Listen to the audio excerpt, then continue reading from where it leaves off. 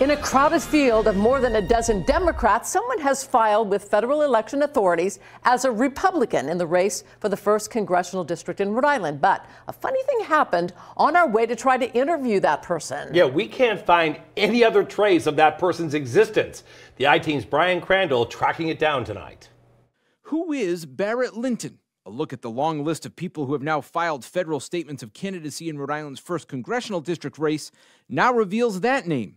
You can see a Barrett Lynton filed on May 3rd as a Republican with an address in Smithfield.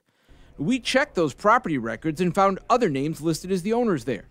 One of the homeowners tells me over the phone she has no idea who Barrett Lynton is, and that person is not someone who lives there.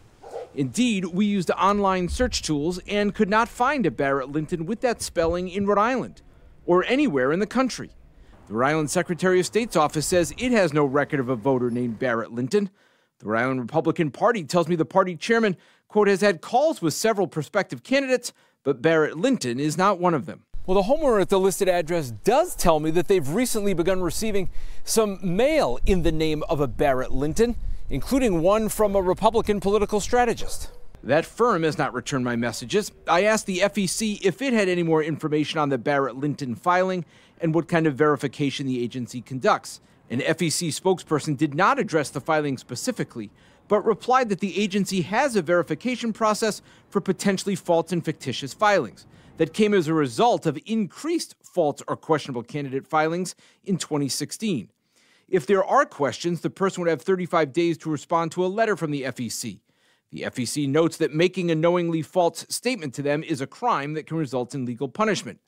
And the federal agency keeps a file of unverified candidates some with names that look real, but plenty of others like the Batman, Dirty Cockroach, Buddy the Elf, Cranky for President, Taco Cat for President, of course, Mickey Mouse, other celebrity names, and plenty of names that we cannot say on TV.